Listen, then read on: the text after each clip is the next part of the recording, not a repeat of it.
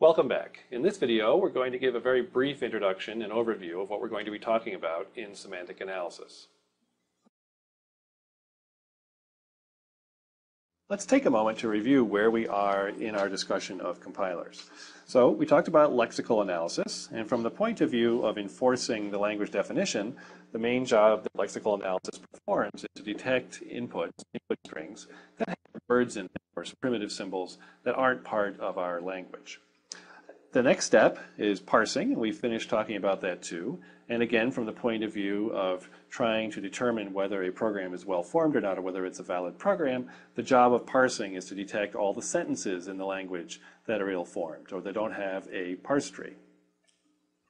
And finally, what we're going to be talking about now, what's going to occupy us for quite a while, is semantic analysis. And this is the last of what are called the front end phases. So if you think of lexical analysis, parsing, and semantic analysis as being filters that progressively reject more and more input strings until finally you're left after all three phases have run uh, with only valid programs to compile, well, semantic analysis is the last line of defense. It's the last one in that pipeline, and its job is to catch all potential remaining errors in a program. Now you might ask yourself, why do we even need a separate semantic analysis phase? And the answer to that is very simple. There's, there are some features of programming languages, some kinds of mistakes you can make, uh, that parsing simply can't catch. Parsing using context-free grammars is not expressive enough to describe everything that we're interested in in a language definition. So some of these language constructs are not context-free. And the situation here is very, very similar to what it was when we switched from lexical analysis to parsing. Just like not everything could be done with a finite automaton, and we wanted to have something more powerful like context-free grammars to de describe additional features of our programming languages, context-free grammars by themselves are also not enough, and there are some additional features beyond those that can't be easily expressed using context-free constructs. So what does semantic analysis actually do? In the case of coolc, it does checks of many different kinds, and that's pretty typical. So here's a list of six classes of checks that are done by coolc, and let's just run through them quickly. First, we want to check that all identifiers are declared, and we also have to check that any scope restrictions on those identifiers are observed. Uh, the C compiler has to do type checking, and this is actually a major uh, function of the semantic analyzer in cool. Uh, there are a number of restrictions that come from the object-oriented nature of cool. We have to check that the inheritance relationships between classes make sense. We don't want classes to be redefined. We only want one class definition per class. Similarly, methods should only be defined once within a class. Uh, cool has a number of reserved identifiers, and we have to be careful that those aren't misused. And this is pretty typical. Lots of languages have some reserved identifiers with special rules that have to be followed for those identifiers. And actually, this list is not even complete. There are a number of other restrictions, and we'll be talking about all of those in future videos. The main message here is that a semantic analyzer needs to do quite a few different kinds of checks. Uh, these checks will vary with the language. The kinds of checks that coolc does are pretty typical of statically type-checked uh, object-oriented languages, uh, but other families of languages will have different kinds of checks.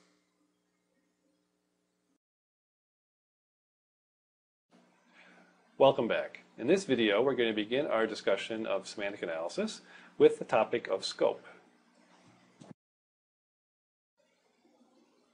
The motivating problem for talking about scope is that we want to be able to match identifier declarations with the uses of those identifiers. We need to know which variable we're talking about when we say variable x, if variable x might have more than one definition in the program. And this is an important uh, static analysis step in most programming languages, including in Cool. So here are a couple of examples taken from Cool. Uh, this definition of y, this declaration of y, that it's a string, will be matched with this use. And so we'll know at this point here that y is supposed to be a string, and you'll get some kind of an error from the compiler because you're trying to add a string and a number. Uh, in the second example, here's a declaration of y, and then in the body of the let, we, do, we don't see any use of y. And that by itself is not an error. It's perfectly fine to declare a variable that you don't use, although you can imagine generating a warning for that. That doesn't actually cause the program to behave badly. But instead, what we see here is a use of x, and there's no matching definition. So the question is, where is the definition of x? we can't see it, and if there is no outer definition of x, then we'll get an undefined or undeclared variable error here at this point. So these two examples illustrate the idea of scope. The scope of an identifier is that portion of a program in which the identifier is accessible. And just notice that the same identifier may refer to different things in different parts of the program. And different scopes for the same name can't overlap. So whatever the variable x, for example, means, it can only refer to one thing in any given part of the program. And identifiers can have restricted scope. There are lots of examples, and I'm sure you're familiar with them, of identifiers whose scope is less than the entire program. Most programming languages today have what is called static scope. And COOL is an example of a statically scoped language. Uh, the characteristic of static scoping is that the scope of a variable depends only on the program text, not on any kind of runtime behavior. So what the program actually does at runtime doesn't matter. The scope is defined purely syntactically from the way you wrote the program. Now, it may come as a surprise that there's any alternative to static scoping. In fact, probably every language that you have used up to now has had static scoping. But there are a few languages that are what are called dynamically scoped. And for a long time, actually, there was an argument about whether static scoping was better than dynamic scoping. Although today, I think it's pretty clear that, that the static scoping camp has, uh, has won this discussion. Uh, but historically, at least, Lisp was an example of a dynamically scoped language. And it has switched uh, in the meantime. This is actually a long time ago now that it changed uh, to static scoping. Uh, another language, which is now mostly of historical interest, isn't really used anymore, uh, called SNOBOL, also had uh, dynamic scoping. And the characteristic of dynamic scoping is that the scope of a variable depends on the execution behavior of the program. So let's take a look at an example of static scoping. So here we have uh, some cool code and uh, a couple of different declarations of x and also uh, some different uses of x. Uh, let me erase these uh, underlines so that I can use the color to indicate uh, bindings. So let's take a look at this definition. the question is, which of these uses of x, we have three uses of x here, actually refer to that definition. So it is, in fact, these two, the ones that are outside of the inner let, these actually refer to this definition. So here, if you refer to x, you get the value 0. But this other definition here, the inner definition of x, uh, is, is used by this use of x. So this use of x uh, gets this, this meaning of x, which in this case returns the value 1. And what's going on here is that we use the most closely, what's called the most closely nested rule. So a variable binds to the definition that is most closely enclosing it of the same name. So this x, the closest enclosing definition of x is this one, but for these two x's, the closest and only enclosing definition of x is this outer one. So in a dynamically scoped language, a variable would refer to the closest binding uh, in the execution of the program, meaning the most recent binding of the variable. So here's an example. Let's say we have a function g, and g defines a variable a, and here it's initialized, say, to 4, and then it calls another function, another function that isn't in the same syntactic scope. So here I've written f right next to g, but actually f could be in some completely other part of the code, and f refers to a. And the question is, what is the value of a here? Well, if, it's, if we're dynamically scoped, then it's going to be the value that was defined in G. And here f of x will actually return 4. That'll be the result of this call because this reference to A will refer to this binding or this definition of A in G. And we can't say much more about how, dynamics, how dynamic scope works until we talk in a little more detail about how languages are implemented. So we'll talk about dynamic scope again a little bit later on in the course. In COOL, identifier bindings are introduced by a variety of mechanisms. Uh, there are class declarations, which introduce class names, method definitions, which introduce method names, and then there's several different ways to introduce object, object identifiers. And these are the let expressions, formal parameters of functions, attribute definitions in classes, and finally in the branches of case expressions. Now, it's important to understand that not all identifiers follow the most closely nested rule that we outlined before. So, for example, a rather large exception to this rule is class definitions in COOL. So class definitions cannot be nested.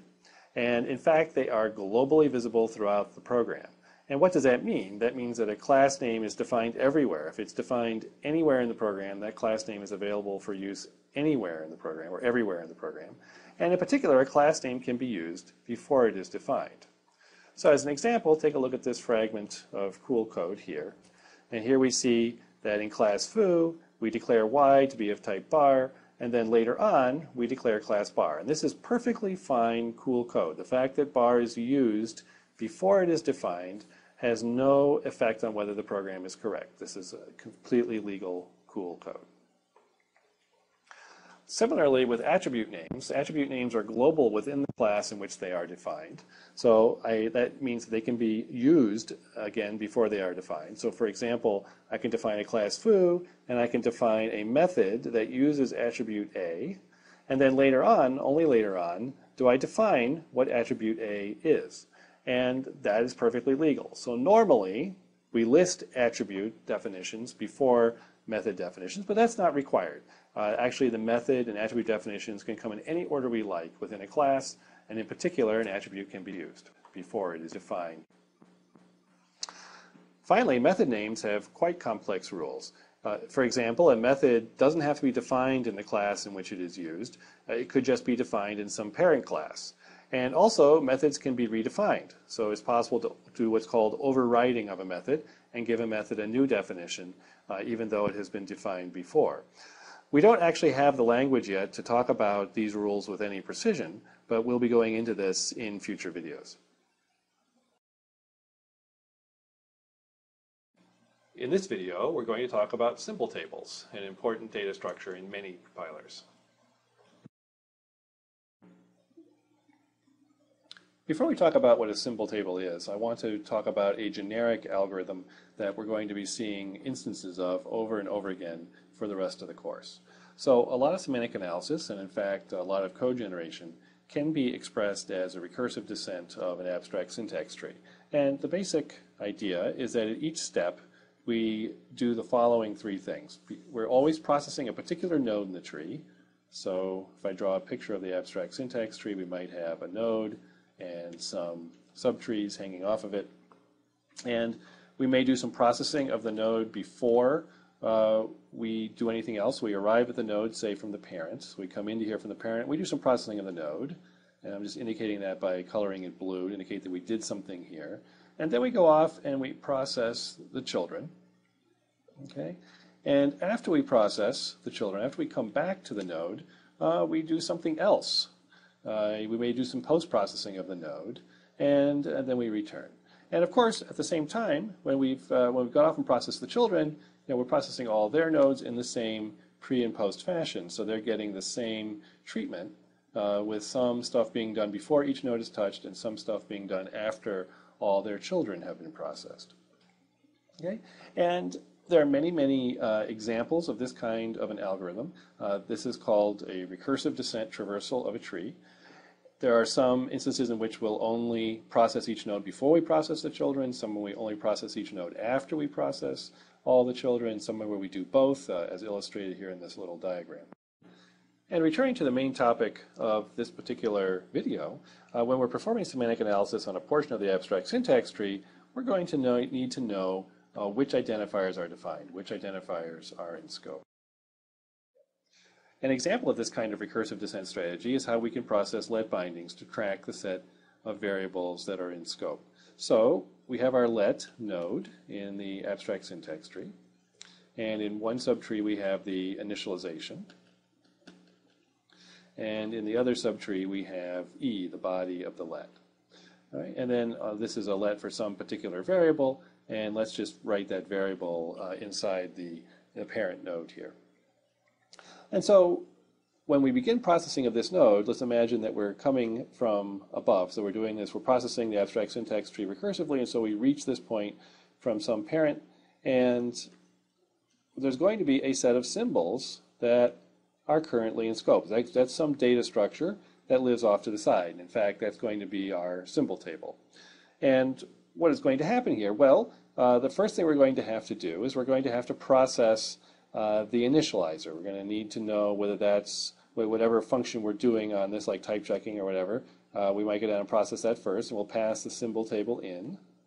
Okay, and then we're going to process the body of uh, the let. But when we do that, we're going to pass in the set of symbols that are in scope, but also x is now going to be in scope. So x is going to be added before we process e uh, to the set of symbols. And then when we return from the subexpression e, it's going to be removed. And so we'll restore the symbol table to its previous state uh, so that after we leave this subtree of the abstract syntax tree, we only have the same set of symbols defined that we had before we entered it.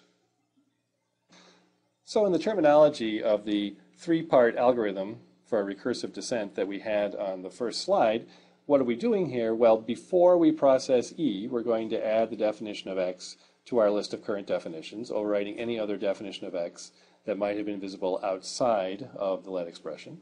Then we're going to recurse. We're going to process all of the abstract syntax tree nodes in the body of the let inside of E. And after we finish processing E, we're going to remove the definition of X and restore whatever old definition of X we had. And a symbol table is just a data structure that accomplishes these things. It tracks the current bindings of identifiers at each point in the abstract syntax tree. For a very simple symbol table, we could just use a stack, and it would have just, say, the following three operations. We can add a symbol to the uh, symbol table, and that will just push uh, the symbol, uh, push the variable onto the stack and whatever other information we want, like its type we'll have a find symbol operation that will look up the current definition for a symbol. And that can be done simply by searching the, the, uh, the stack, starting from the top, uh, for the first occurrence of the variable name. And this will automatically take care of the hiding of old definitions. So for example, if we have a stack that say has X, Y, and Z on it, and then we come into a scope uh, that introduces a new Y, we would push y on top, and now if we search through the stack, we would find this y first, that effectively hiding the old definition of y. And then when we leave a scope, we can remove a symbol simply by popping the stack. We'll just pop the current uh, variable off of the stack. That will get rid of the most recent uh, definition and, and leave the stack, uh, leave the set of definitions in the same state it was before we entered the node at all. So in this example, uh, if we left the scope where the outer y was defined and that was popped off the stack, so that was gone, now when we search for y, we'll find the outer definition, the one that was defined outside of that inner scope. So this simple symbol table works well for let uh, because the symbols are added one at a time and because declarations are perfectly nested. And in fact, the, the fact that declarations are perfectly nested is really the whole reason that we can use a stack. So take a look at this little example. Let's say we have three nested lets, and here I'm not showing the initializers uh, in the left subtrees. It, they, they don't matter um, for what I want to illustrate. So if you think about it, as we walk from the root here down to uh, the inner bindings, uh, and we're pushing things on the stack, we'll push things on the stack in the order x, y, and then z. And then as we leave, as, after we've processed this subtree, and we're leaving it, walking back out, we're going to encounter these let scopes in exactly the reverse order. And popping them off the stack is exactly uh, the order in which we want to remove them, and that's why a stack works well. So, so this structure works fine uh, for lets, uh, but for some other um, constructs, it's not quite as good as it could be. So for example, consider the following uh, piece of code uh, illegal piece of code, I should add. Let's say we're declaring a method and it has two arguments named x. Now, that's not legal, but in order to detect that it's not legal, I mean, why is it not legal? It's not legal because they're both defined in the same scope. So functions or methods have the property that they introduce multiple names at once into the same scope, and it's not quite so easy uh, to use a stack where we only add one thing at a time or one name at a time uh, to model simultaneous definition in a scope. So this problem is easily solved with just a slightly fancier symbol table. Here is the revised interface now with five methods instead of three. The biggest change is that we now have explicit enter and exit scope functions. And so these functions start a new nested scope and exit a current scope. And the way to think about this is that our new structure is a stack of scopes. So what is on the stack is an entire scope, and then in a scope is, are all the variables that are defined at the same level uh, within that single scope. So just like before, we have a find symbol operation that will look up a variable name and it will return the current definition or null if there is no definition in any scope that's currently available. Uh, we'll have an add symbol operation that adds a new symbol to the table and it adds it in the current scope, so whatever uh, scope is at the top of our scope stack. And then one more new operation, check scope, will return true if x is already defined in the current scope. So this, just to be clear on what this does, this returns true if x is defined in exactly the top scope. It doesn't return true unless uh, x is defined in the scope at the very, very top of the stack. And this allows you to check for double definition. So for example, in the uh, code that I had before on the previous slide, if we had two declarations of x, how would we check this? Well, we would add x to the symbol table uh, in the current scope, and then we would ask, well, is x already defined in this scope for the second one? And this interface would return true, and we would know to raise an error saying that x uh, had been multiply defined.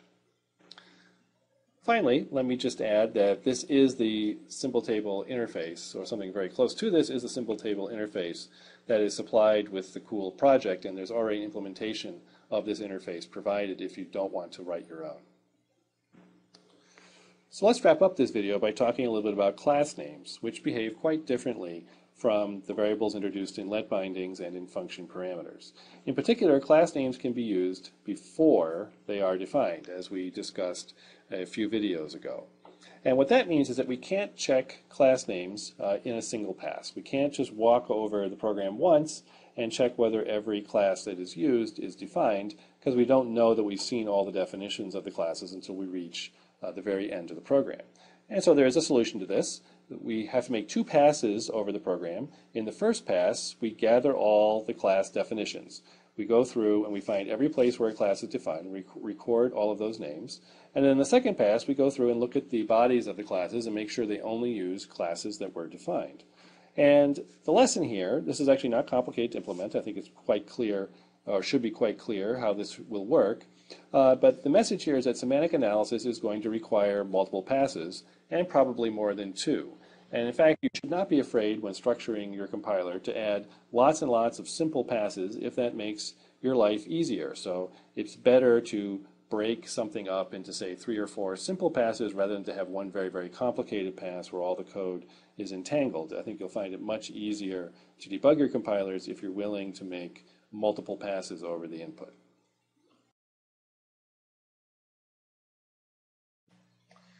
Welcome back. In this video, we're going to have an introduction to types.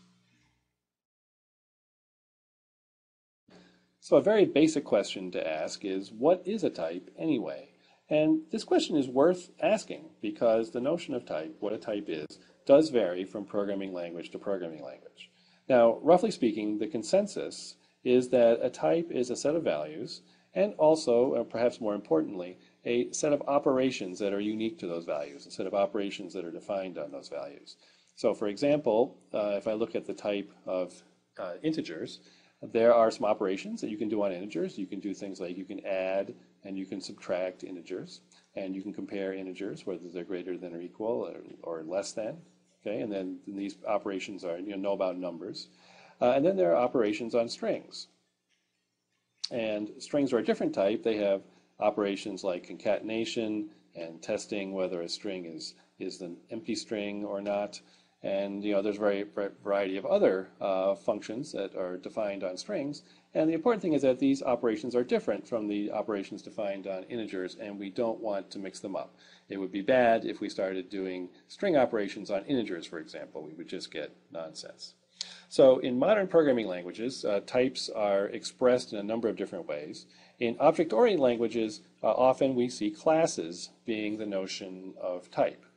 So, uh, particularly in COOL, uh, the class names are the types. They're all, uh, with one exception, uh, called self-type, uh, the class names are exactly the types. And I just want to point out that this need not be the case. Uh, it happens that it's often convenient in object-oriented languages to equate classes and types, but there are other designs that where the classes are not the only kinds of types, or whether they're Uh, and in some languages where there's no notion of class, the types are completely different things. So classes and types are really two different things that happen uh, to be identified in a lot of object-oriented language designs. And I just want you to be aware that that's not necessarily the only way to do it.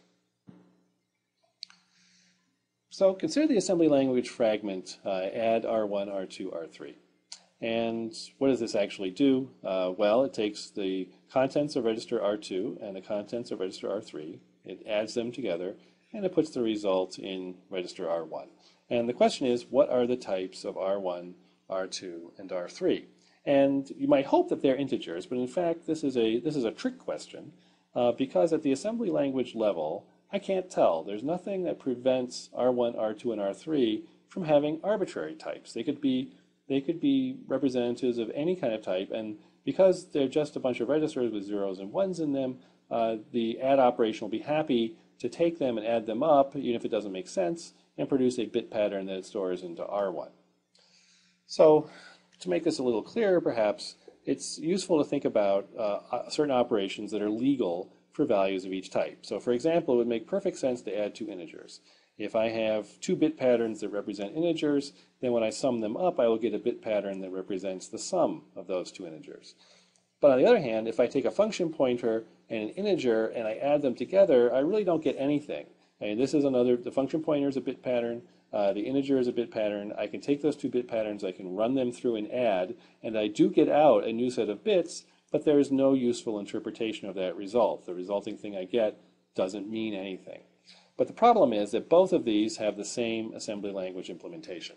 Okay, nothing at the assembly language level, uh, these two operations look exactly the same. So I can't tell uh, at the assembly language level uh, which one of these I'm doing. And if I want there to be types, if I want uh, to make sure that I only do operations on the correct, uh, that I only do certain operations on, the, on their correct types, then I need some kind of type description and some sort of type system to enforce those distinctions. So perhaps I'm belaboring this point, but I think it's important. So one more time. Uh, a language's type system specifies which operations are valid for which types. And then the goal of type checking is to ensure that operations are used only, only with the correct types. And by doing this, type checking enforces the intended interpretation of values uh, because nothing else is going to check. Once we get down to the machine code level, it's all just a lot of zeros and ones, and the machine will be happy to do whatever operations we tell it to on those zeros and ones, whether or not those operations make sense. So the purpose of type systems is to enforce uh, the intended interpretations of those bit patterns and make sure that if I have a bit pattern uh, for integers that I don't do any non-integer operation on that and get something that is meaningless. Today, programming languages fall into three different categories uh, with respect to how they treat types. There are the statically typed languages, where all or almost all the checking of types is done as part of compilation. And COOL is one of these, and other languages that you've probably uh, seen, like C and Java, are also statically typed. Then there are the dynamically typed languages, where almost all of the checking of types is done as part of program execution. And the Lisp family of languages, like Scheme and Lisp itself, are in this category, as are languages like Python and Perl. Right? And so you probably used uh, or heard of at least some of those languages. And then finally, there are the untyped languages where no type checking is done at all, either at compile time or at runtime. And this is basically what machine code does. So machine code uh, has no notion of types and enforces no abstraction boundaries uh, when it executes. For decades, there has been a debate about the relative merits of static versus dynamic typing. And without taking sides, let me lay out for you what the various proponents on each side say. So the people who believe in static typing say that static checking catches many programming errors at compile time, and it also avoids the overhead of runtime type checks. If I've done all the type checking at compile time, well, I don't have to check the types at runtime. I don't have to check when I go to do an operation that the arguments are of the correct type because I already did that check once and for all at compile time. And these things are both definitely true. These are the two big advantages of static checking. First of all, they, it proves that some errors can never happen. Those are caught at compile time, and so I never have to worry about those errors at runtime. And also, it's faster. Dynamic typing proponents uh, counter that static type systems are restrictive. So essentially, a static type system has to prove that the program is well typed, that all the types make sense. And it does this by restricting what kinds of programs you can write. There are some programs that are more difficult to write in a statically typed language because the compiler has a hard time proving them correct. And there's also a belief that, that I see commonly stated that rapid prototyping is more difficult with a static type system. And I think the idea here is that if you're prototyping something, if you're exploring some idea, you may not actually know exactly what all the types are at that point in time. And having to commit uh, to something that's going to work in all cases, you know, to having a type correct program when you're just trying to fiddle around and figure out what it is you're trying to do, that that's very constraining and makes uh, the work go quite a bit slower. So what's the actual situation in practice today? Well, an awful lot of code is written in statically typed languages, and the practical statically typed languages that people use a lot ha always have some kind of escape mechanism. So in C and Java and C++, you have some notion of unsafe cast. Uh, in C, an unsafe cast can just result in a runtime crash. In Java, it results in an uncaught exception at runtime when you have an unsafe uh, or a failed downcast. Uh, but the, the, effect is that you can get runtime errors uh, for type reasons. Now, on the dynamic typing side, the people who program in dynamic languages, they always end up or seem to end up retrofitting static typing to these dynamically typed languages. So typically, if a dynamically typed language becomes popular enough, then people start trying to write optimizing compilers for them. And the first thing that people want to have in an optimizing compiler is some type information because it helps to generate much better code. And so people wind up going back and trying to figure out how to get as many types as they can uh, from these dynamically typed languages as soon as they start trying to build serious tools uh, to improve the programs written in these languages. And in my opinion, it's really debatable whether either compromise, because both of these are compromises on the either strict static or strict dynamic point of view, whether either one of these represents the best or the worst of both worlds. But this is certainly where we are today in practice. Now, COOL is a statically typed language, and the types that are available in COOL are the class names. So every time you define a class, you define a new type, and the special reserved symbol self-type, uh, which we'll be talking about in a separate video all of its own. And the way COOL works is that the user declares the types for identifiers. So for every identifier, you have to say uh, what its type is. But then the compiler does the rest of the work. The compiler infers the type uh, for expressions. And in particular, the compiler assigns a type to every single expression uh, in the program. So it will go through the entire abstract syntax tree, and using the declared types for identifiers, it will calculate a type uh, for every expression and sub-expression. To wrap up, it's worth mentioning that there's a couple of different terms that people use for the process of computing types and that they mean slightly different things. So the simpler problem is what is known as type checking. Here we have a fully typed program, meaning we have an abstract syntax tree with all the types filled in on every node, and our only job is to check that the types are correct. So we can just look at each node and its neighbors and confirm that the types are correct in that part of the tree, and we can do this for every part of the tree and check that uh, the, the program is type correct. Type inference, on the other hand, is the process of filling in missing type information. So here the view is that we have an abstract syntax tree with no types on it, or perhaps just a few types in key locations on it, say on the declared variables. And then we want to fill in missing types. We have some nodes in there with absolutely no type information at all. And it's not just a question of confirming or checking that the types are correct. We actually have to fill in the missing type information. And these two things are different. Uh, actually, they're, they're actually, in many languages, they're actually very, very different. Uh, but people often use the terms interchangeably, and I will not be particularly careful in my videos about which term I'm using either.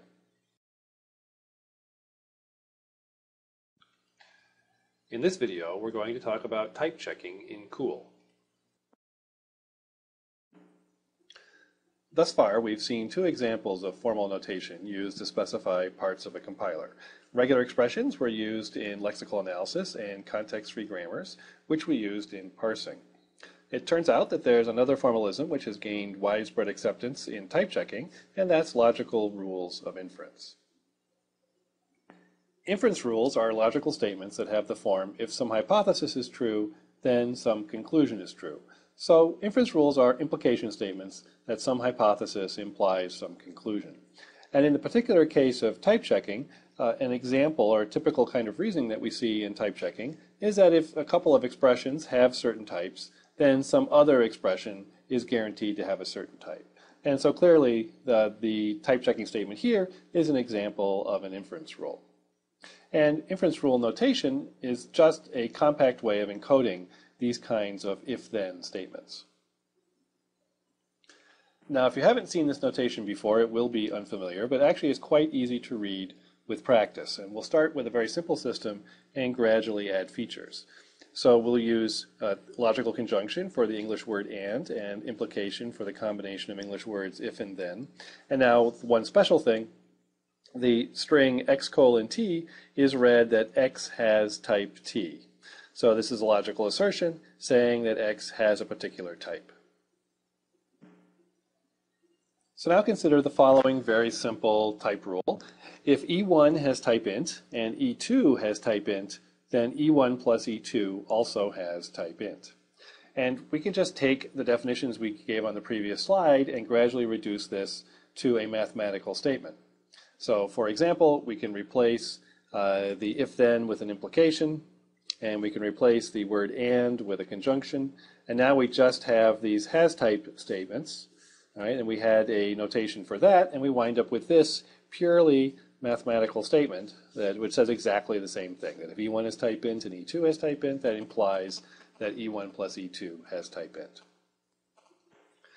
Now notice that that statement that we just wrote out is a special case of an inference rule. It's a bunch of hypotheses conjoined together that implies some conclusion. The traditional notation for inference rules is given here, the hypotheses are written above a horizontal line and the conclusion is written below. And it means exactly the same thing as what we had on the previous slide. Namely that if all the things above the horizontal line are true, these are all the hypotheses, then the thing below the horizontal line can be concluded to be true. And there's one piece of new notation here. This is the turnstiles that are used uh, for the hypotheses and the conclusion. And the turnstile is read, it is provable that.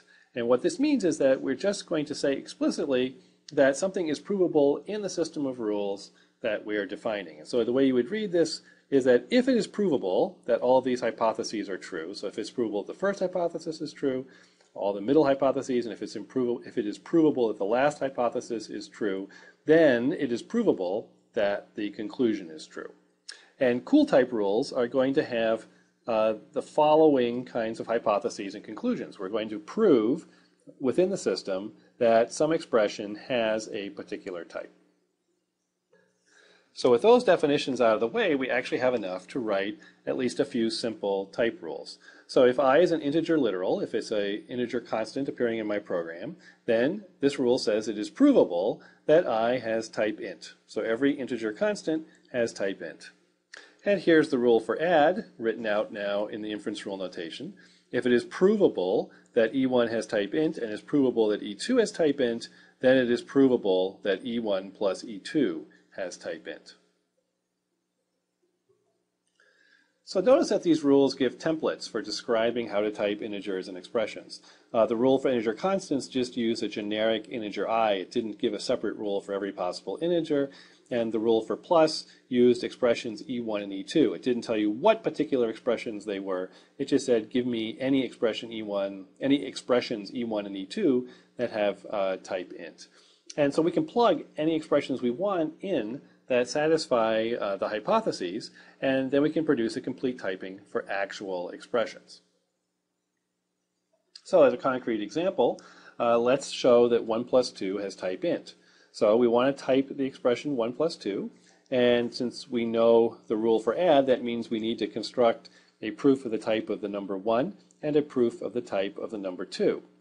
And we have a rule for dealing with integer constants, namely we can prove uh, because 1 is an integer constant that it has type int, and we can prove that 2 is type int, and then now we have the two hypotheses we need for the sum expression, and we can prove that 1 plus 2 has type int. So an important property of any reasonable type system is that it be sound. And soundness here is a correctness condition.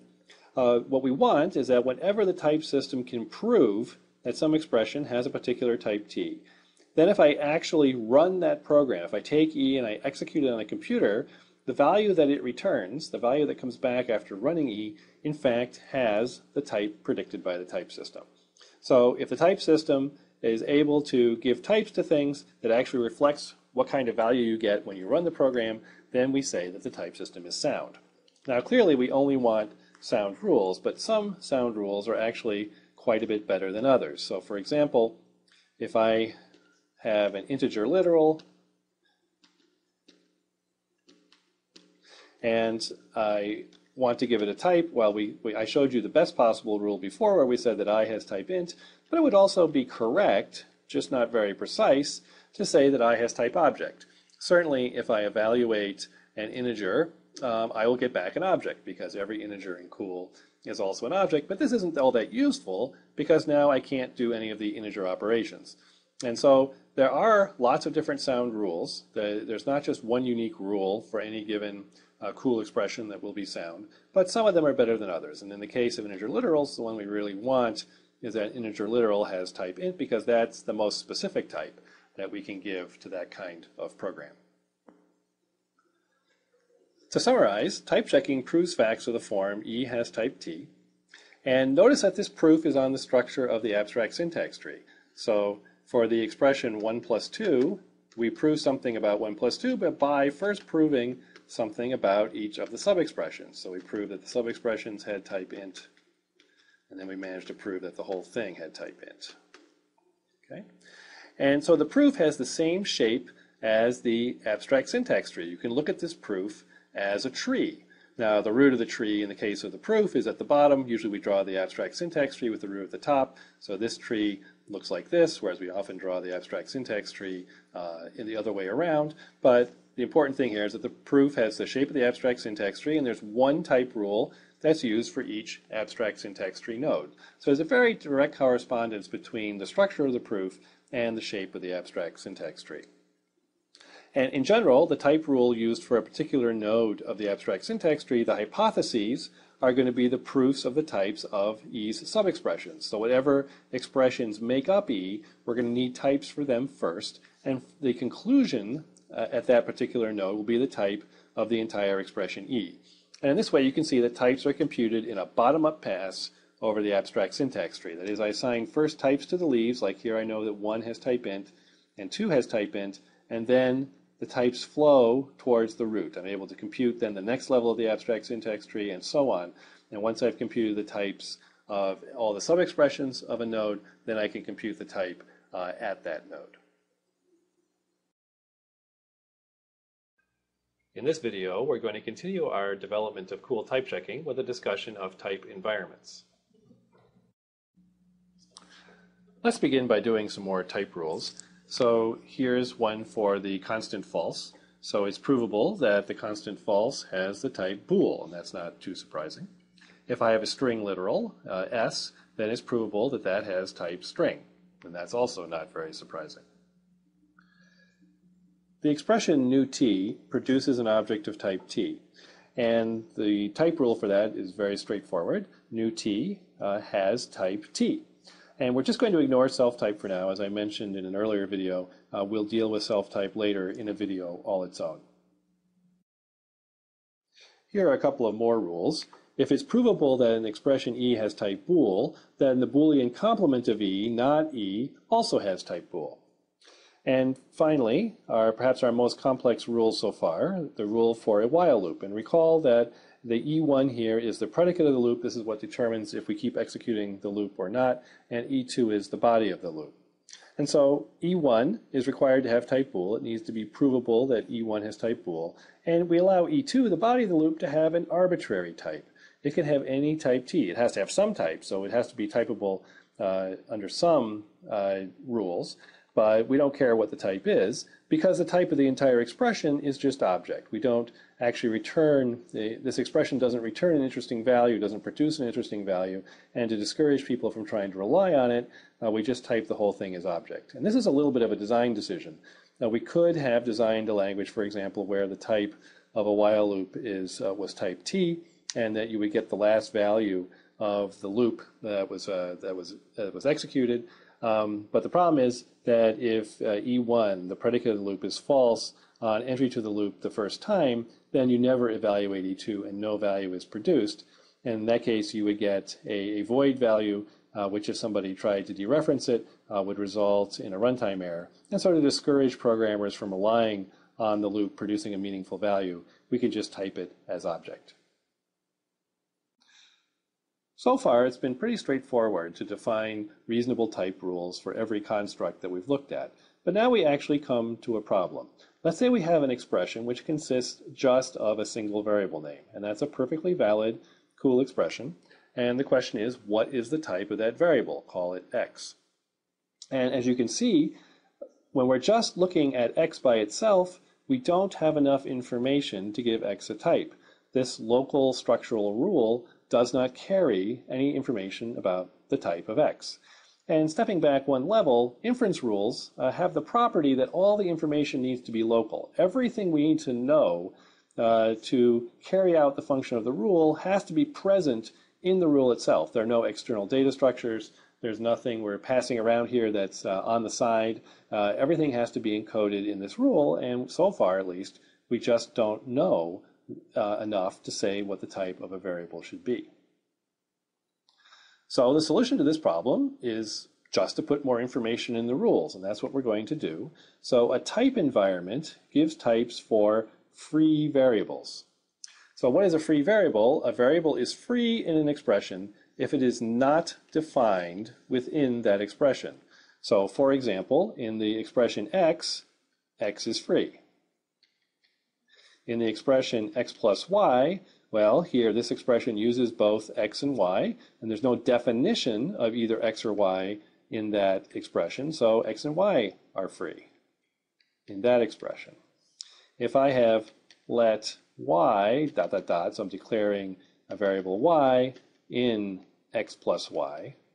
Well, what's free in this expression? Well, this expression uses x and y, but the use of y is governed by a definition of y that occurs within the expression itself. So we say here that y is bound. y is a bound variable in this expression, but x is still free. So only x is free in that expression. And the idea here is that if I have an expression with free variables and you want me to type check it, you have to tell me what the types of those variables are. So I can type check x if you tell me what the type of x is. I can type check x plus y if you tell me the types of x and y. And I can type check this expression, this let expression, if you tell me the type of its one free variable x. The type of y will be given by the declaration in the let, but you still have to tell me uh, what the type of x is. And so the free variables are just those variables where you have to give me the information, and then I can carry out the type checking. And a type environment encodes this information. So a type environment is a function from object identifiers, from variable names, to types. So let O be a type environment, one of these functions from uh, object identifier names to types. And now we're going to extend the kinds of logical statements that we prove to look like this. And the way this is going to be read is that under the assumptions that variables have the types given by O, so the assumptions go over here on the left side of the turnstile. These are the assumptions that we're making about the free variables in E.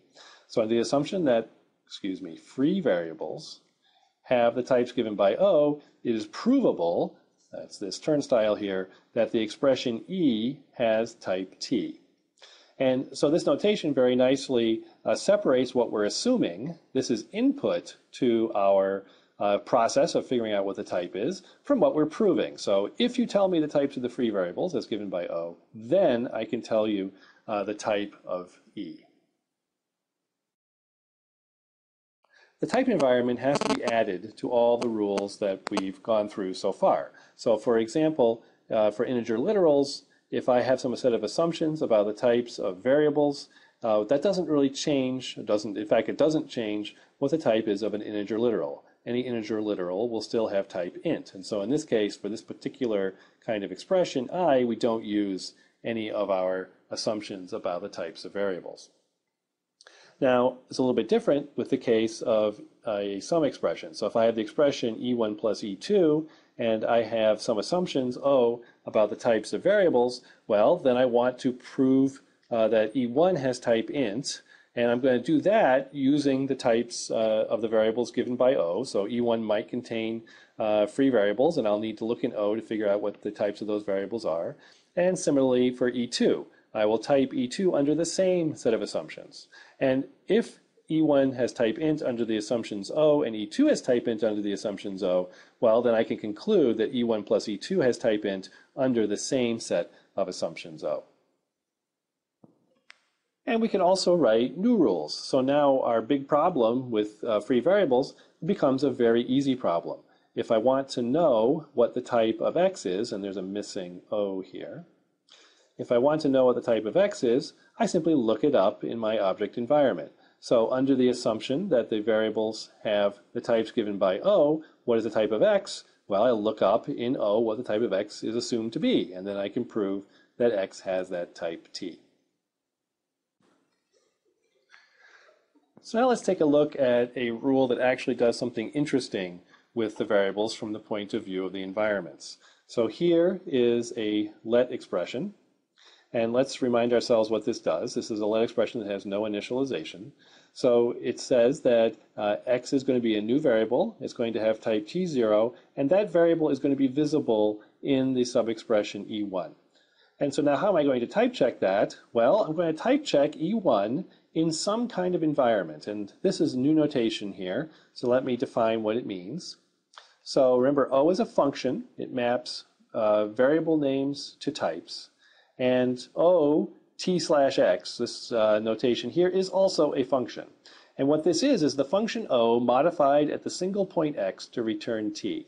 So in particular, uh, this function, this whole thing here is one function. This whole thing I'm underlining here is a function. That applied to x is returns t.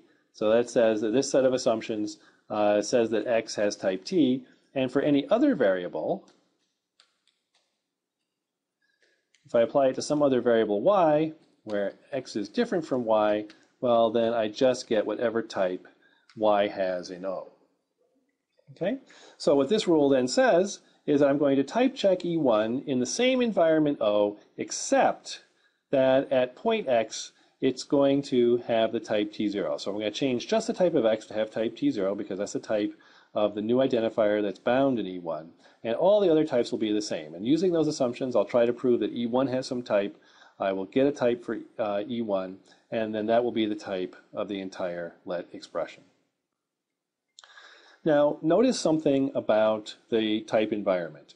What this says is that before we type check E1, we need to modify our set of assumptions, modify our type environment to include a new assumption about x. Then we type check E1, and then, of course, when we leave uh, type checking E1, we're going to remove that assumption about x, that new assumption, because outside of the let, uh, we just have the original set of assumptions O. And so I hope that that uh, terminology and that description reminds you of something we talked about earlier, because this type environment is really implemented by the symbol table. So in our rules, the type environment uh, carries around the information that will be stored or is typically stored in the symbol table of a compiler. To summarize this video, the type environment gives types to the free identifiers in the current scope. And this is very important because it doesn't even really make sense to talk about type checking an expression unless we have some information for the types of the free identifiers. And the type environment is just a way of formalizing that, of giving a name to some set of assumptions about what the types of those free identifiers are. Notice that the type environment is passed down the abstract syntax tree from the root towards the leaves. That is, as we pass through definitions, the type environment is extended with new definitions, for example, in let expressions. And so the type environment will grow as you pass from the root of the abstract syntax tree down towards the leaves of the abstract syntax tree. And then the types are computed uh, up the abstract syntax tree from the leaves towards the root. So we begin at the leaves get all the types of the leaf expressions, most of which are very easy. Things like integers and string constants have the obvious types. And we just look up the types of variables uh, in the type environment. And then we compute the types for the more complicated expressions in a bottom-up fashion.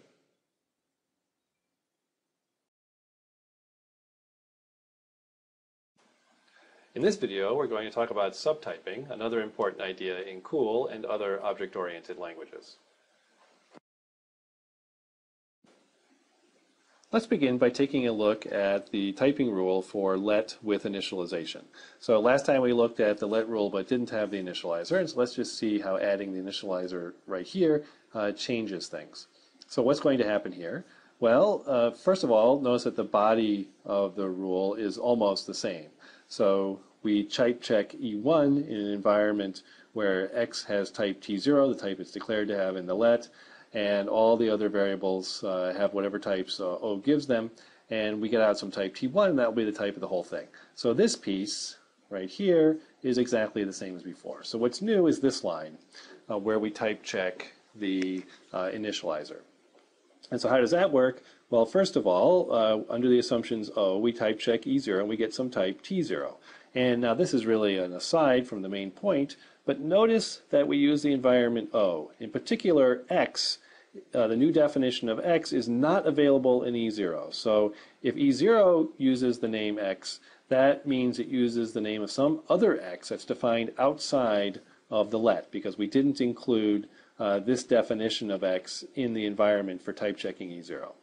All right, now, but the main point, the thing I want to point out on this slide is that E0 here has type T0, which is exactly the same type as x. And that's a requirement of this rule. It says that E0 has to have the same type as x. And that's actually fairly weak uh, because there's really uh, no problem if E0 has a type which is a subtype of T0. Uh, T0 can hold any subtype of T0, and that would be absolutely fine. Uh, but here we've limited ourselves to only allowing initializers that exactly match the type of X. So we can do better if we introduce the subtyping relation on classes. And the most obvious form of subtyping is that if X is a class and it inherits directly from Y, meaning there's a line in the code that says X inherits from Y, then X should be a subtype of Y. And furthermore, this relationship is transitive. So if x is a subtype of y and y is a subtype of z, then x is a subtype of z. And finally, uh, you, as you might expect, it's also reflexive. So every class is a subtype of itself. And using subtyping, we can write out a better version of the let rule with initialization. So once again, uh, the body, uh, the, the part of the rule that deals with the body of the let is exactly the same as before. So let's not look at that. And now what we're going to do is we're going to type check E0 and we get some type T0 out. And then T0 now is only required to be a subtype of T. So this line here is another hypothesis and it just says that T0 has to be a subtype of T. And what is T? Well, T is now the type that X is declared to be. So this allows E0 to have a type that's different from the type of X. And the only issue here is that more programs uh, will type check with this rule than the previous one. The previous rule we had was certainly correct. Any program that compiled with that rule uh, would run correctly. But this is a more permissive and still correct rule. More programs uh, will compile and type check correctly uh, using this rule. Subtyping shows up in a number of places in the COOL type system. Here's the rule for assignment, which is in many ways similar to the rule for let. So how does an assignment work? Well, on the left-hand side is a variable. On the right-hand side is an expression. We're going to evaluate the expression and assign whatever value we get back to the variable on the left-hand side. And so what, uh, how is this type checked? Well, first of all, we have to look up the uh, type of x in the environment, and we discover it has some type t0.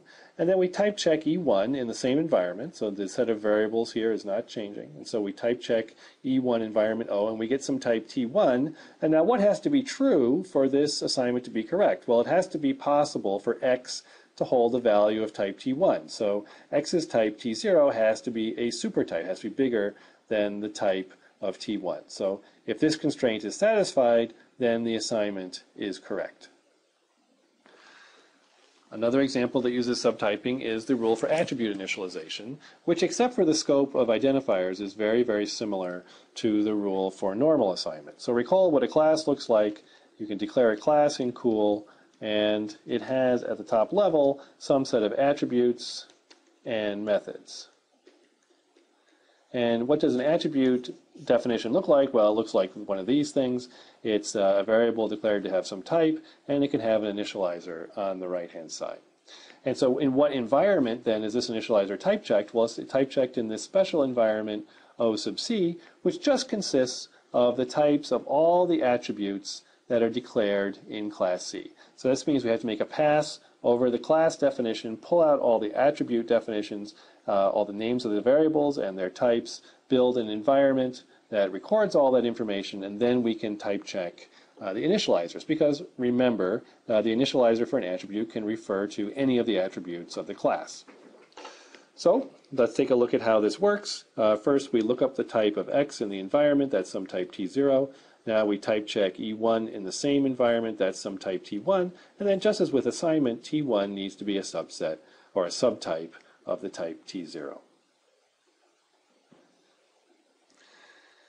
Now we come to another interesting example, how we type check an if then else. And the important thing about if then else is that when we're doing type checking, we don't know which branch is going to be taken. We don't know whether the program is going to execute E1 or E2. And in general, actually, this if statement may, or this if expression may execute multiple times during a run of the program. And sometimes it may execute E1, and other times it may execute E2. And so what that means is that the resulting type of an if then else is either the type of E1 or the type of E2, and we don't know at compile time which one it's going to be. So the best we can do is to say the type of the entire if then else is the smallest supertype larger than the type of either E1 or E2. The need to compute an upper bound over two or more types comes up often enough that we're going to give the operation a special name. We'll call it the LUB, or least upper bound of x and y. And the least upper bound of x and y is going to be z if z is an upper bound, so meaning it's bigger than both x and y. And also if it is the least among all possible upper bounds. So what this line here says is that there is some other z prime that's bigger than x and y, well then z has to be smaller than z prime. So z is the least, it is the smallest of all the possible upper bounds of x and y. And in COOL and in most object-oriented languages, uh, the least upper bound of two types is just their least common ancestor in the inheritance tree. So typically, the inheritance tree is rooted at object or some similarly named class that incorporates, that includes all the possible classes of the program. And then there's some kind of a hierarchy, which is a tree uh, that descends from object.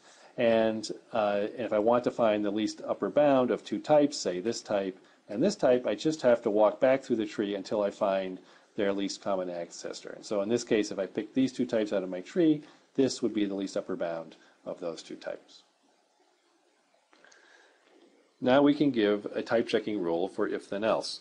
So the first thing to notice about if then else expressions is that they, that they do not affect the environment. And if then else neither introduces nor removes any variables from the environment. So all the sub expressions are typed in the same environment as the entire expression.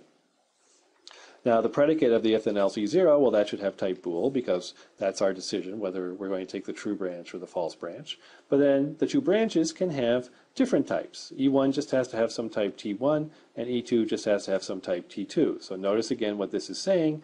This is just saying that E1 and E2 do have to type check. They have to be type correct, but we don't care what the type is. The type can be anything. And then the type of the entire expression is just going to be the least upper bound of T1 and T2, because that's going to be the best estimate we can give to the final type of the expression, given that the true branch might return T1, uh, something of type T1, and the false branch might return something of type T2. The rule for case expressions is the most complex one we've seen so far, but really it's just a glorified uh, if then else, and it's relatively easy to understand if we just pull it apart. So, so let's begin by reminding ourselves of what case does. First of all, it, it looks at E0, it evaluates E0, and then it looks at the runtime type of E0. So, it, so it takes the uh, dynamic class of E0, and then it looks at the first branch. Let's, and what is it going to do? It's going to compare the type of E0 at runtime to the type T1. And if T1 is a supertype of the runtime type of E0, and in fact it is the smallest of all the possible branches, it's the smallest supertype of all the possible branches, then it's going to pick this branch, it's going to bind x1 to the value, it's going to give it the type uh, T1, so it's going to bind x1 to the value of E0, it's going to retype it as type T1, and that's going to evaluate E1. So you can see in what sense it's, it's a glorified if then else. Uh, we're just picking the best matching branch, the one that's whose type, declared type, uh, it most closely matches the runtime type of E0, and then we're going to execute that branch with the variable that's named in that branch bound to the type of E0. So let's see how the typing works out. So first we type check E0 and we get some type T0. And now what's going to happen? Well, if we select uh, the branch, uh, the first branch, well, then we're going to take the environment and we're going to extend it with the new variable x1, which is going to have type T1. And so we only take this branch, remember, if a runtime type of E0 matches T1 uh, most closely among all the branches. But if we do take it, then we're going to execute, execute E1 in this environment, and we'll get back something of some type uh, T1 prime. And similarly for all the other branches, until finally the last branch, which is exactly the same as the first one, just with the letter n replacing the number 1. And so since we don't know which branch is going to match at runtime, it could be any of the branches that actually executes, and therefore the type of the entire expression is just going to be the least upper bound over all of the types uh, of the various branches. And here I've just extended least upper bound from a binary operation uh, to an n-ary operation. Uh, that should be clear enough. We're just going to take the least upper bound over all of these types.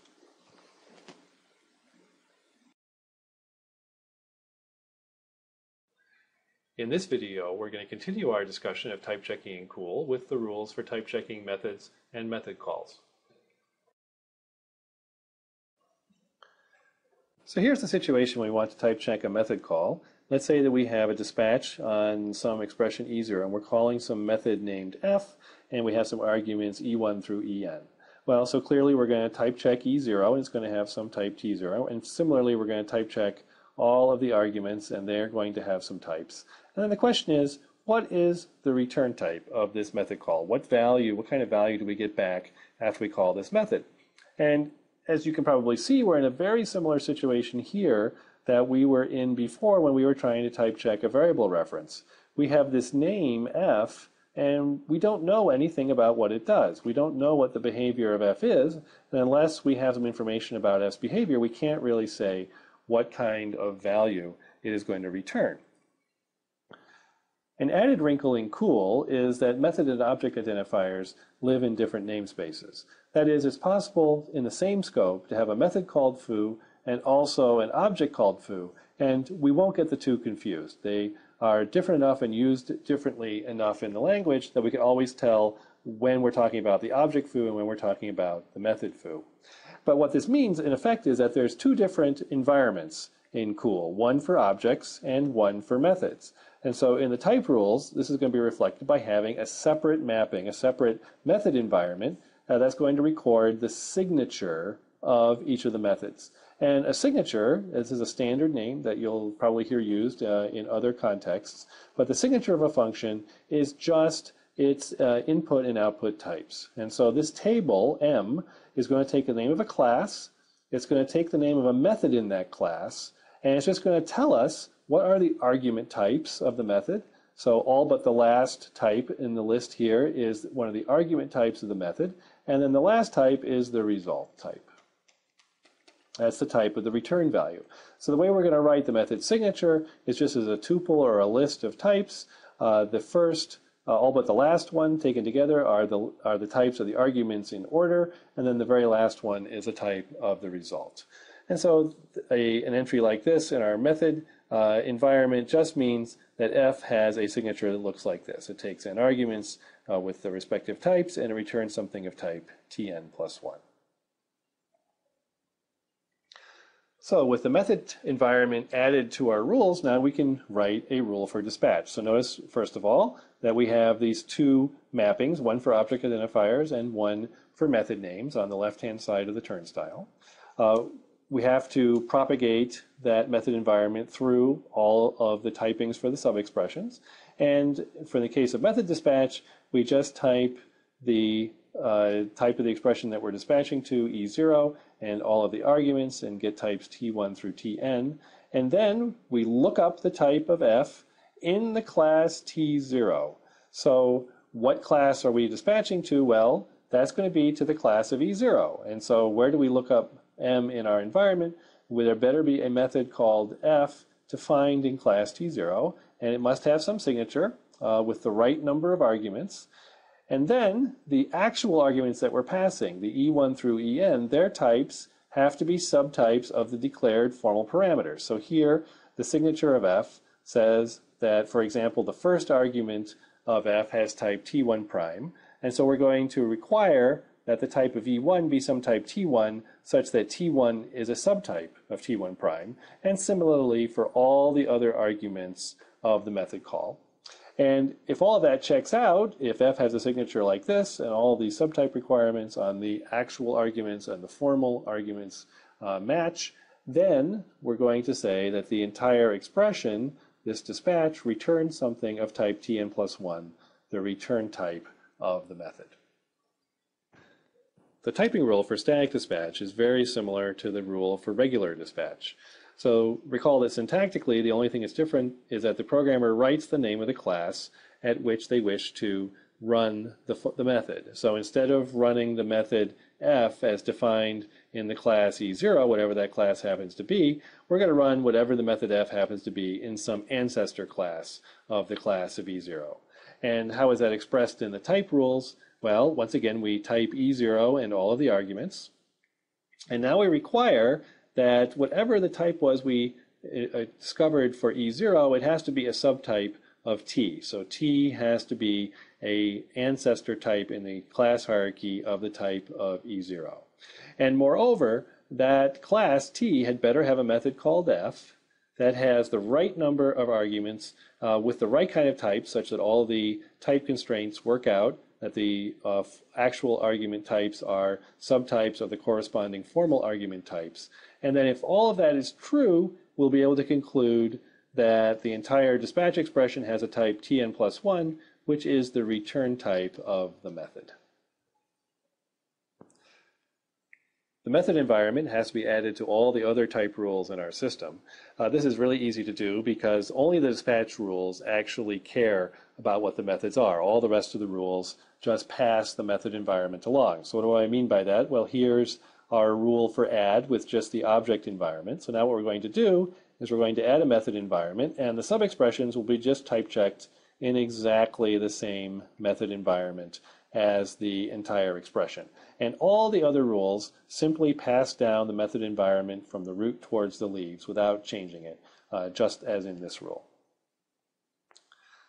Now it turns out that for some cases involving self-type, we actually need one more thing in our environment. And so the actual full environment for COOL type checking consists of three things. First of all, there's the mapping O that gives types to object IDs. There's this mapping M that gives types to methods. And finally, we just need to know the name of the current class. So whatever class the expression we're type checking actually sits in. So the full form of a sentence in the COOL type checking logic looks like this and is read as follows. Under the assumption that the object identifiers have the types given by O, that the methods have the signatures given by M, and that the expression sits in the class C, then we can prove that the expression E has the type T. And here's an example, the add example, uh, the, the rule for addition again, written out with the full environment. So the rules that I've given you for type checking here are COOL specific, and some other languages have very different rules. But there are some general themes of type checking. First of all, type rules are defined on the structure of expressions. So they're typically done in this inductive fashion, uh, where the types of an expression, the type of an expression depends on the types of its subexpressions and also the types of variables and more generally any free names in an expression, things like method names, they're going to be modeled by an environment. So we're going to have some mapping sitting around that tells us for any kind of free name in an expression what assumptions the type uh, rules should make about the types of those names. And one thing you've probably noticed by now, but it's worth uh, saying explicitly, is that type rules are really very compact. Uh, the notation is not complicated. Um, but there's actually a lot of information in these rules, and you have to take some time to sit and read them carefully to really understand what they are saying.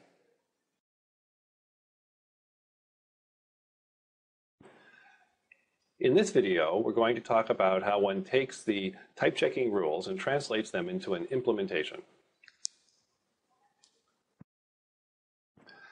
The high-level overview of COOL type checking is that it can be implemented in a single traversal over the abstract syntax tree. And there's actually two phases here. There's the top-down phase, uh, in which the type environment is passed down the tree. And then there's a bottom-up phase, in which the types are passed back up. So we start at the root of the tree uh, with an initial type environment. This type environment is passed down recursively through the various nodes of the abstract syntax tree until we hit the leaves. And starting at the leaves, we use the environment to compute the types of each sub-expression, working our way back up the tree to the root. Let's start our discussion of the implementation of COOL type checking with one of the simpler rules in the type system, the rule for addition. And let's just briefly review uh, what this rule says. Uh, it says that the type check E1 plus E2, uh, we first have to type check E1, and then we have to type check the subexpression E2. And both of those subexpressions have to have type int. And if they do, uh, then we can conclude that the uh, overall expression, the sum of the two subexpressions, also has type int. And furthermore, this type checking is carried out in some environment. In this case, the environment is the same uh, for the entire expression and both subexpressions. Uh, just, just to remind you, there's always an object environment for the uh, object names in scope, a method environment for the methods of the various classes, and we always need to know the current class. Now, how would we implement this? Well, we're going to have a recursive function called typecheck uh, that takes two arguments. It takes an type environment, and this will be a record. I'm not specifying exactly how that record is declared, but I mean, essentially it's going to have three parts, uh, O, M, and C. And it also takes an expression. And so here we're just doing the case where the expression is E1 plus E2. And what should the code look like? Well, we can pretty much just read the rule and translate directly into code. And this is one of the nice things about the notation for type systems is it really tells you uh, very, very clearly uh, how to uh, write the implementation from the description. So what's the first thing we have to do? Well, we have to type check the sub-expression E1. And we can see from the rule that the environment in which E1 is type checked is exactly the same as the environment of E1 plus E2. So we just pass whatever our original environment argument was for E1 plus E2, we pass that argument on uh, to a recursive call to type check uh, to type check the sub-expression E1. And that type checking will, will run, and it will return some type T1. Now, we don't know that T1 is an integer at this point. We're going to have to check that. Uh, so we just remember what the type of E1 is. And furthermore, we type check E2. Okay, and that also happens in the same environment. We can see that here in the rule. Uh, and again, we'll get back some type uh, for E2, type T2. And then we confirm that both T1 and T2 uh, are type integer. Now we could have done uh, the check that T1 is, is int uh, right away, right after we had uh, type checked T1. And that would have been a fine thing to do. Uh, here, I, just to save space on the slide, I've put the uh, checks for T1 and T2 uh, all on one line. And if that check succeeds, if it doesn't succeed, presumably there should be some code in here to uh, print out an error message. But if that, if both T1 and T2 are in fact integers, then the type of the whole expression is also an integer. So that's what's returned by this call, by the outermost call here to the type check function. So now let's take a look at a somewhat more complex type checking rule and its implementation. Here's the rule for let with initialization. So we're declaring a variable x of type t, and that's going to be visible in the expression e1. Uh, but before we execute e1, we're going to initialize x to the value of e0, and then after we've evaluated the entire let expression, we expect to get back something of type t1. And now for all of that to work out, uh, a few things have to be satisfied, and those are listed as premises here uh, of the rule. First of all, E0 has to have some type T0, which is a subtype of T. And that's to guarantee that this initialization is correct, that X can actually hold something of E0's type. And for the entire expression to have type T1, well then E1 has to have type T1. But that type checking is carried out in an environment that's extended uh, with the declaration for x. And so we also know within E1 that x has type t. So now let's write the type checking case for this. So the function type check is again, it's going to take an environment as argument, and now we're doing the case for let with initialization. So just reading off the, uh, the rules and what the conditions are that we have to check, we can see that one of the first things we have to do, or one of the things we have to do, is to check that E0 has some type T0. So we just have a recursive call to type check here. Uh, this is carried out in the same environment as the overall expression. So we just pass the environment on to the recursive call, and now we're just type checking E0 and we re record its type T0. So the second premise is implemented like this. Now uh, we're type checking E1, and we expect it to have some type T1.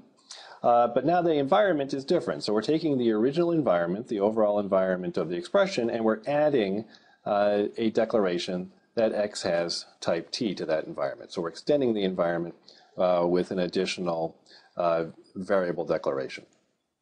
Okay, so we do that type checking call, and we get back a type T1.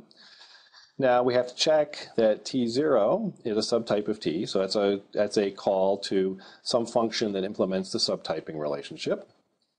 And if, uh, if that passes, if that check passes, well, then we're done. And we can uh, return uh, the type T1. And there's a little mistake here on the slide. There should be a semicolon there. So we just return T1 as the type of the entire expression.